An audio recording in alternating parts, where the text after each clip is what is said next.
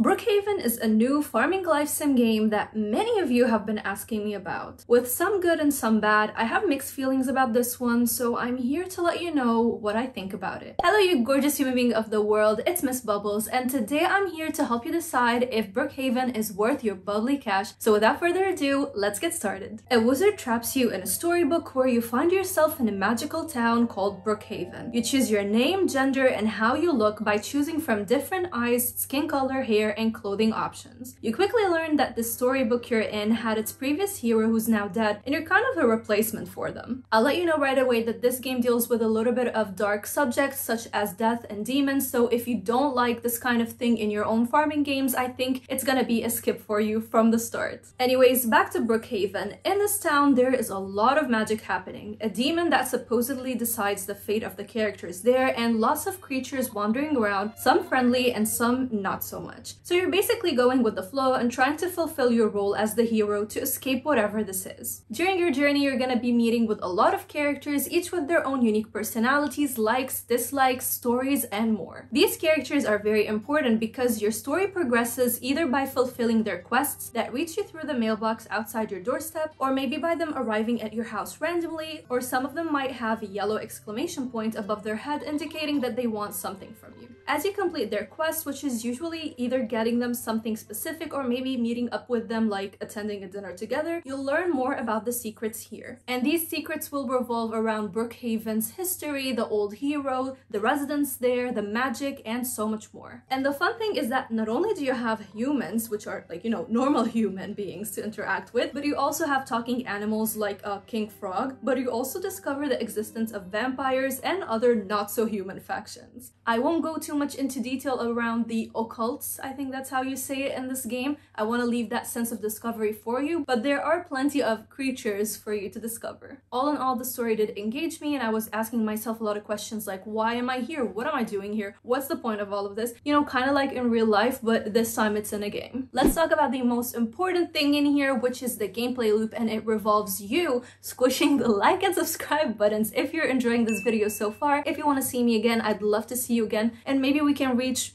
60 likes for this video. Let's do it. All jokes aside, one of the most important things in the farming slash life sim genre is the gameplay loop. When you reach Brookhaven, you're given the farming house and the land that belonged to the old hero, you know, the one that died. Now you have their place. Along with that, you get some farming tools and you start with a little bit of money that you can invest in buying crops. One of the first quests is actually to help you get into farming because they ask you for five hops. So you visit the grocery store to buy a wide range of crops and they all grow based on the season and a certain number of days. You also get yourself plenty of livestock like pigs and cows to take care of, thus having access to resources to cook different recipes. The more you increase your farming skill, the more items you'll unlock to help you out such as a scarecrow or a sprinkler along with a bunch more. This can be accessed through your inventory where you have a tab for different, let's say, blueprints to create, each requiring a certain amount of resources ranging from copper bars, wood, stone, and a lot more. Other than farming, the main essence in this game is all about magic and spells. You have different abilities to use such as fireballs or teleportation which you can unlock, and the more you use magic and the more quests you complete, the more skills you'll get which will come in handy later on. For example, in the beginning you don't have the teleportation skill that I just mentioned, however as you complete a certain quest you'll unlock it and then you will need this teleportation skill to complete another quest. And this is how the entire game goes. You're gonna be unlocking one thing to deliver it to another quest and then unlocking something else and doing the whole thing all over again. And it's pretty much what it is with all farming sims and this is what usually keeps us hooked. It's that loop of doing things over again and always getting rewarded for it. You also have your cauldron where you can make use of alchemy to create health and stamina potions for example and I really like this aspect of the game. In addition to that, you have the mines which are treated as a dungeon with plenty of floors to uncover. On each floor you have monsters to defeat and that's how your magic and fighting skills can level up. The deeper you go in the mine, the rarer the items you'll find will be, but also the more difficult the monsters are gonna be for you to take down. And the thing is that this mine is kind of like a puzzle, so you need to figure out your way down and you have to solve riddles as well. To be honest, as soon as I hit the 11th floor, I started to dislike mining in this game. Everything was super dark and I had to make a lot, and I'm saying a lot, of torches to light my way, which I thought was making things difficult just for the sake of it. I'm telling you, it was super difficult to find my way around. I know some of y'all like this. I don't like this at all, so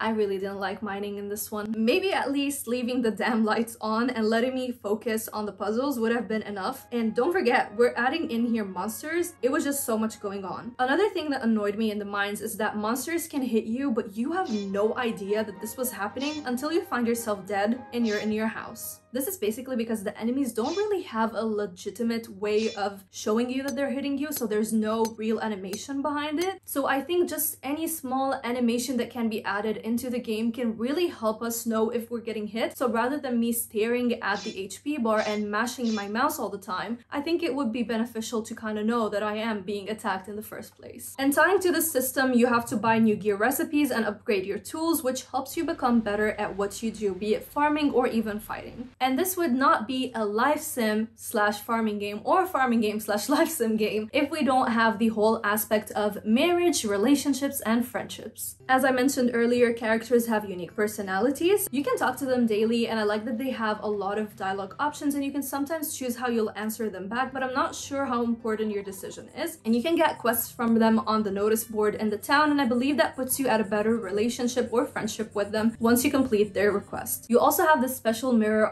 your wall in your room where you can basically spy on these characters. And this is very important if you really want to work on a friendship because once you spy on them, the mirror will tell you what this person likes. So by donating to this mirror one moonstone, which is very easy to find in the mines, you can know for sure what the character likes and by giving them that, you will get more hearts with them. Some of the characters are romanceable so you can marry them and have a kid together, which is part of the story, but I can't talk about it because it will hit story spoilers. You also have other skills such as fishing which I kind of found very bland because basically you throw the line in, you wait for the perfect moment to click on your mouse when the yellow square is in the middle, and sometimes you might unlock a good chest. I think any other minigame would have been better, especially with the way this one looked. It felt very cheap as you can see on the screen. Another skill is forging where you pick up different things from the ground and there's the use of worms to find different items such as paintings and fossils to donate to the local museum. Your house is also customizable. You can choose which decor and furniture items to put in there so you can fit the style to your own personality, which I really like. And you can also adopt a pet, which is also something that I really love in games. I got mine and I called him Teddy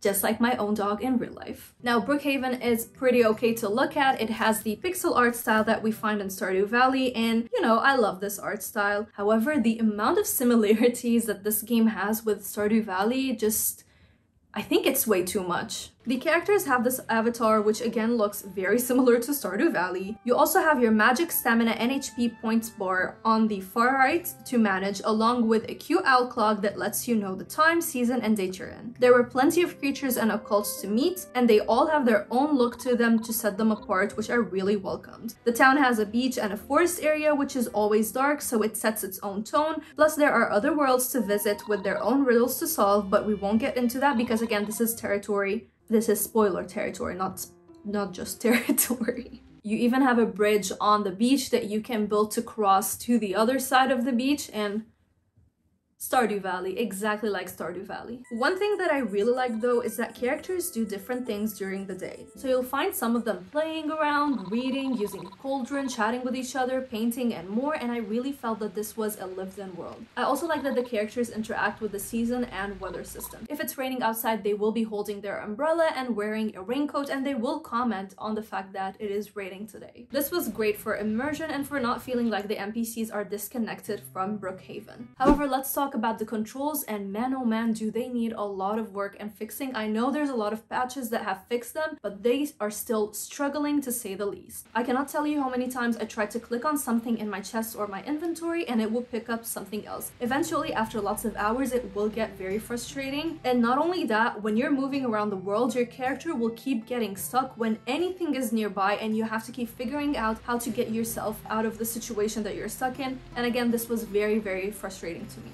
In the sound department, there is no voice acting here first and foremost, and that is completely okay with me. The dialogue was plenty and it kept me engaged, and that was enough for me. As far as sound effects go though, they are inconsistent and not used that much, which can be immersion breaking. For example, you can't hear your character's footstep, and when I chop, let's say, a tree, sometimes I'll hear it, sometimes I won't. As for the music, let's say for the first hour, I was like, wow, this is relaxing, this is nice, but as more hours went by, the music volume went down. It was the same song on repeat in the dungeons and another one in the outside world, and it was getting ridiculously repetitive.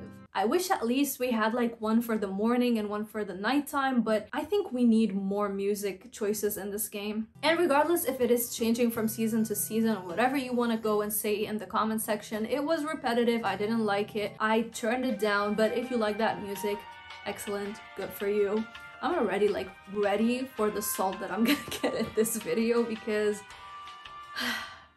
let's just keep going. Moving on to the performance side of things, my PC was not sounding like a jet, which I love. Everything was fine, no bugs, no stuttering, no frame rate drops, which I always welcome. So as you can see, this game has some good, but it also has some bad. So let's decide if it's gonna be the one for you. As always, we're gonna go by this game is for you if, not for you if, and then my personal verdict. Now this game is for you if you're looking for a new indie developer in the farming genre that you want to support. I think you're gonna find something here, but don't expect it to be groundbreaking. It's also for you if you love discovering different occults like vampires and mermaids. It's for you if you love puzzles and riddles to solve. And it's for you you, as I said, if you want to support this developer's first project, and if you have $15 to spare and just want to jump in and try it for yourself, then why not? However, this game is not for you if you get easily frustrated with puzzles, bad controls, and at times lack of sense of direction, since the game can be very slow at the start with its story pacing. It's also not for you if you're having big expectations, thinking this is the next Stardew Valley of this decade, like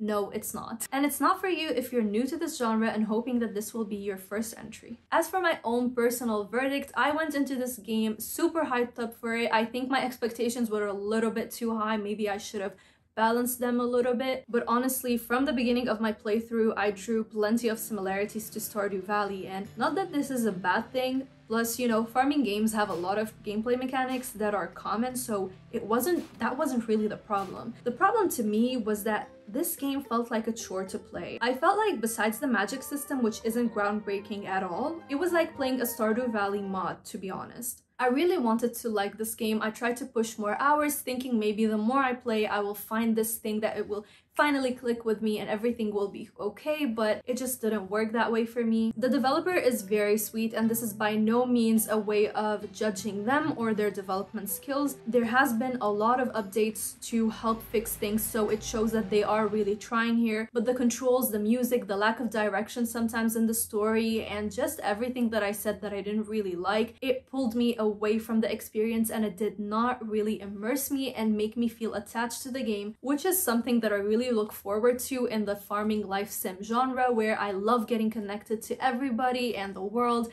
and feeling like a true part of it. I think this is Little Amethyst's first game, so I am sure next projects will be better. I think they have potential. However, as Brookhaven stands right now, it's very difficult for me to recommend it. But hey, this is simply my opinion based on my own experience with this game and my past experiences with other ones, so let me know what you think down in the comment section. I would love to talk to you about it. Thanks to my bubbly Patreons for the constant support and special shout out to Justin and Faye for going the extra mile. Without you guys, guys, these videos would not be possible. As always, stay bubbly, stay positive, and I will see your gorgeous self in the next one.